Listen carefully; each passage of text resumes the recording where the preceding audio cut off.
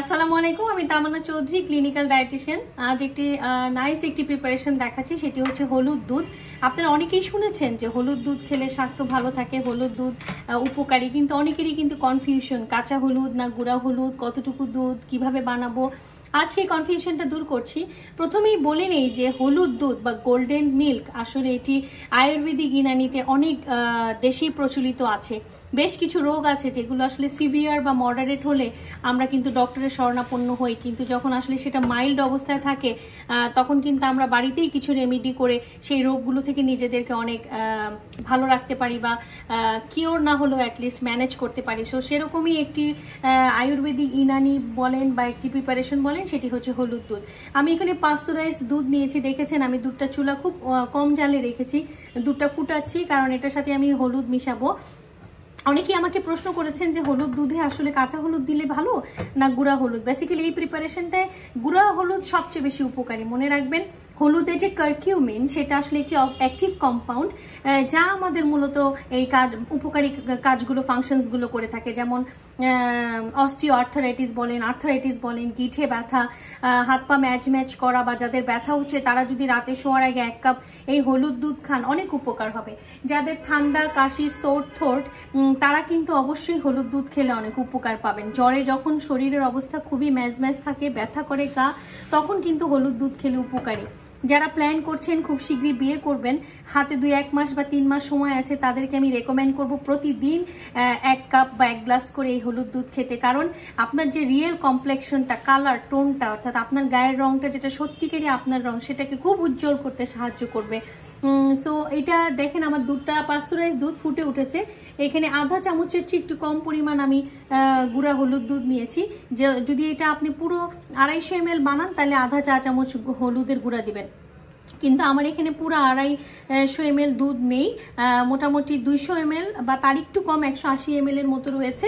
তাই আমি হলুদটা দিয়েছি একটু কম। এই কম জালে আমি হলুদ আর দুধটা মিক্স করছি। অসম্ভব সুন্দর একটা রং হচ্ছে। কিন্তু আপনারা হয়তো ভাবতেছেন, এটার ফ্লেভার আসলে কেমন হবে? না ফ্লেভার এক্সিলেন্ট হবে, কারণ হলুদ আর দুধে যে ফ্লেভারটা আমি পাচ্ছি, এটা অসম্ভব সুন্দর একটি ফ্লেভার হয়। এটা মোটেও মনে হয় না যে দুধের সাথে হলুদ কিছু একটা ডিফারেন্ট কিছু হবে বাট না। খুব বাজে কোনো গন্ধ না খুব সুন্দর গন্ধই হয় ঘ্রাণ হয় বলব ফ্লেভার হয়। এই যে হলুদ দুধটা, এটা একটু নাড়াচাড়া করবে। এটার সাথে আরও একটি উপাদান মিক্স করব, যেটি আসলে একটি কার্কিউমিনকে অ্যাবজর্ব করতে সাহায্য করে এবং এই হলুদ দুধের কার্যকারিতা পেতে হলে সেই উপাদানটি কিন্তু কোনোভাবেই মিস করা যাবে না। হ্যাঁ এটা ফুটে উঠতে উঠতেই আমাকে সেই উপাদানটি অ্যাড করতে হবে এবং সেটি হচ্ছে ক্র্যাশড গোলমরিচ। দেখতে পাচ্ছেন, এখানে কালো গোলমরিচ ক্র্যাশ করা আছে, আমি অল্প একটু দিয়েছি। দুটো গোল- গোলমরিচ তো আসলে দুটো ক্র্যাশ করা যায় না। আপনি করে নেবেন এবং সেখানে আপনি জাস্ট দুটো পরিমাণ ক্র্যাশ গোলমরিচ আপনি দুধটার সাথে মিশাবেন, মনে রাখবেন।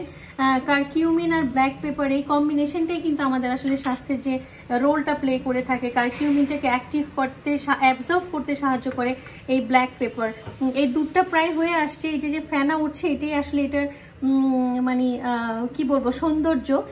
সো যারা আসলে উজ্জ্বলতা বাড়াতে চান স্কিন সমস্যা নিয়ে আছেন, তারা রেগুলার এই হলুদ দুধ খেতে পারেন। যারা জ্বর, ব্যথা অথবা অনেক বেশি ঠান্ডা কাশিতে আক্রান্ত, তাদের জন্য এটি খুবই ভালো। অস্টিও আর্থারাইটিস বা হাঁটু ব্যথা বা ব্যাক পেইন বা যাদের ব্যথা আছে শরীরে, তাদের জন্য এটি খুব উপকারী।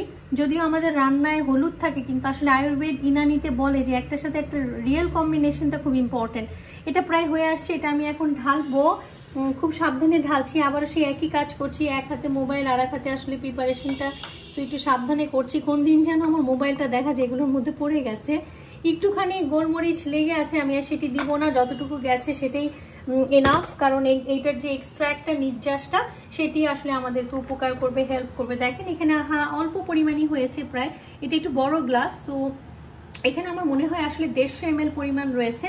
আমি অল্পই খাব, আর এই জন্যই এই হলুদ দুধটা আপনারা প্রতিদিন রাতে এটা খেতে পারেন শোয়ার আগে। তবে মনে রাখবেন, এখন এটার সাথে কোনো মধু বা ব্রাউন সুগার অ্যাড করা যাবে না।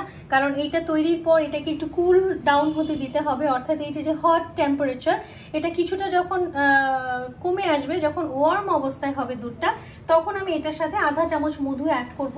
অ্যান্টিঅক্সিডেন্টের পরিমাণ তখন আরও বাড়বে এবং এটি আমাদের আরও বেশি ঠান্ডা, কাশি বা অন্যান্য শারীরিক সমস্যা থেকে আমাদেরকে হেল্প করবে। প্লাস রোগ প্রতিরোধ ক্ষমতা বাড়াতে এটি কিন্তু এক্সিলেন্ট সো যাদের রোগ প্রতিরোধ ক্ষমতা নাজুক, যাদের ওজন কম রোগ প্রতিরোধ ক্ষমতা যাদের কম, তারা এটি প্রতিদিন এক গ্লাস রাতে খেতে পারেন বা এক কাপ খেতে পারেন। এখানে হান্ড্রেড ফিফটি এম এর মতো রয়েছে।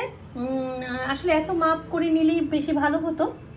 আর মনে রাখবেন দুইশো এম আধা চা চামচ, আর একশো, দুইশো এম এর নিচে যদি, দুইশো থেকে আড়াইশো এম আধা চা চামচ আর দুইশো এম নিচে যদি হয়, তাহলে ওয়ান ফোর্থ টি স্পুন হলুদের গুঁড়া, সাথে ক্র্যাশড গোলমরিচ অ্যাড করলে হলুদ দুধ হয়ে যাবে। এটি খুবই হেলদি উপকারী, এটা আরেকটু ঠান্ডা হবে যখন, কিন্তু ওয়ার্ম হবে, তখন আমি এটার সাথে আসলে হানি অ্যাড করব, যেটি আমাকে আরও বেশি অ্যান্টিঅক্সিডেন্ট দিবে। সো আশা করি এখন থেকে সবাই হলুদ দুধ বানাতে পারবেন। ইটস কল্ড গোল্ডেন মিল্ক হলুদের কারকিউমিনের বেনিফিটস পেতে হলে এই হলুদ দুধের কোনো জুড়ি নেই। পাশাপাশি এটি থেকে ক্যালসিয়াম, ফসফরাস পাবেন, যা অ্যাক্টিভলি একসাথে আমাদের হাড়ের যে কোনো ডিজিজের সমস্যা মোকাবেলা করতে সাহায্য করবে।